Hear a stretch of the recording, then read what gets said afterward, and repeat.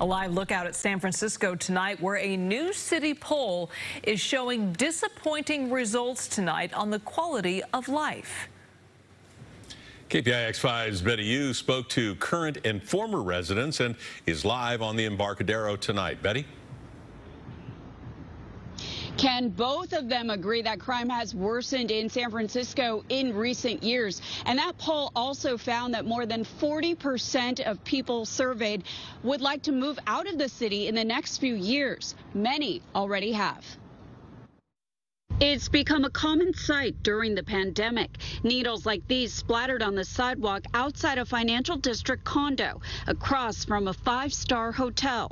There's nothing worse than seeing such a beautiful place in such disarray.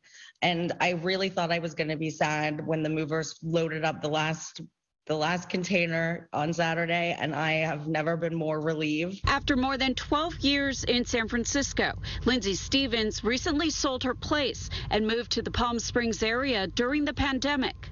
I honestly think in the last three years, we've seen a massive decline in the quality of life, and that was only enhanced over COVID. Um, you know, the homelessness has been a severe problem people are not feeling safe walking their dogs. The number of break-ins seems to be, you know, constantly on the rise. Her feelings are reflected in the results of a new poll by the San Francisco Chamber of Commerce. 80% of residents say crime has worsened in recent years. 70% feel that quality of life has declined.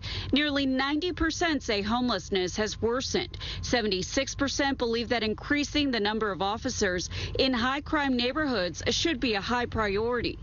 I think safety is a huge concern. Even two years ago, when I first initially moved back to the city, I never viewed certain neighborhoods as necessarily unsafe. That's until 24 year old resident Minku Lee became a victim himself this past Friday.